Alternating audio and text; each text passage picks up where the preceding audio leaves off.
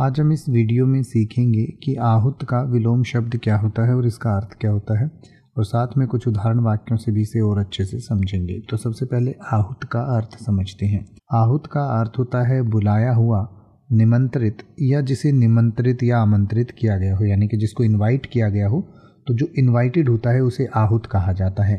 तो आहुत का विलोम शब्द, यानी कि विपरीतार्थक शब्द होगा अनाहुत और अनाहुत का मतलब होता है जिसे बुलाया या आमंत्रित नहीं किया गया हो या अनवांछित, यानी कि जो इनवाइटेड न हो। तो आइए अब हम आहुत और अनाहुत को कुछ उदाहरण वाक्यों से समझें। जैसे कि आप ये कह सकते हैं कि आहुत अतिथि का आदर के साथ स्वागत किया गया, या फिर आप कह सकते हैं अनाहुत अतिथि को अवांछनीय माना गया, या फिर आप कह सकते हैं आहूत लोगों ने समारोह की रौनक बढ़ाई, या फिर आप कह सकते हैं अनाहुत लोगों की उपस्थिति ने समारोह में असुविधा पैदा की। अब आप किसी भी वर्ड का मतलब हिंदी और इंग्लिश में यूट्यूब पर सर्च कर सकते हैं। आपको मेरी वीडियो मिल जाएगी, जिसमें आप बिना किसी फालतू बकवास के सीधा उस वर्ड का मतलब समझ पाएँगे।